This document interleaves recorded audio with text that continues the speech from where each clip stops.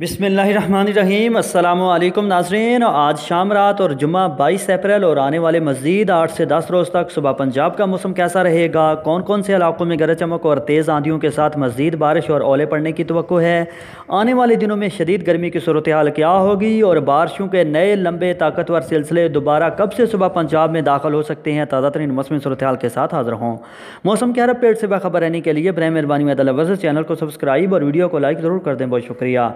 ताज़ा तरीन मौसम सूरत हाल के मुताबिक, सुबह पंजाब के मुख्तलिफ़ इलाकों में गरज चमक और तेज़ आंधी के साथ बारिश और बाज़ इलाकों में यालाबारी का सिलसिला जारी है। महकमे मौसमियात की ताज़ा तरीन रिपोर्ट के मुताबिक, आज रात और जुमा बाईस अप्रैल के रोज़ भी मरी रावलपिंडी, इस्लामाबाद खिता पठवार अटक, झेलम, चकवाल, लाहौर शेखपुरा नारोवाल, सियालकोट, गुजरावाला, गुजरात, मंडी, बाउद्दीन, हाफजाबाद समेत सुबह पंजाब के बालाई इलाकों में सिर्फ़ कहीं कहीं गरज चमक और तेज़ आंधी के साथ मजीद बारिश का इम्कान बन सकता है।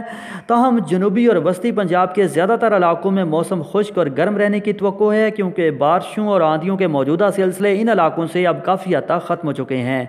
सिर्फ़ चंद एक इलाकों में बारिश और आंधी का इम्कान बन सकता है। बालाई पंजाब में भी आने वाले चौबीस घंटों के दौरान, यानी जुमा बाईस अप्रैल तक बारिशों और आंधियों के मौजूदा सिलसिले काफ़ी हद तक ख़त्म हो जाएँगे। अब आने वाले दिनों में पंजाब के ज़्यादातर इलाकों में गंदम की कटाई के हवाले से मौसमी सूरत हाल इंतहाई शानदार, यानी मौसम खुश्क और गर्म रहेगा।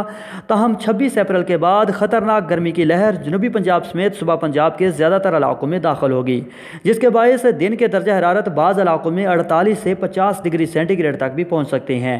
सुबह पंजाब में अब बारिशों और आंधियों के लंबे और ताकतवर अच्छे सिलसिले इन मई के पहले हफ़्ते में दाखिल होने की तो है। आज से तीस अप्रैल के दौरान सुबह पंजाब में सिर्फ़ चंद इलाकों में लोकल एक्टिविटी के बायस बारिश और आंधी का इम्कान बन सकता है।